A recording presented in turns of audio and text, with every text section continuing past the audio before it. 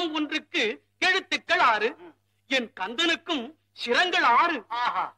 இன்னும் சொல்லிக்கொண்டே இருக்கும் நான் கேட்டுக்கொண்டே இருக்கிறேன். சிங்காரவேலனுக்கு சிரமும் கரமும் சேர்த்தால் பதினெட்டு. தமிழ் மொழியில் மெய்யெழுத்தும் பதினெட்டு. மொழியில் மட்டுமா? பார்க்குமிடமெங்கும் நீக்கமர நிறைந்திருப்பவன் அல்லவா? என் பாட்டுடை தலைவனான முருகன்.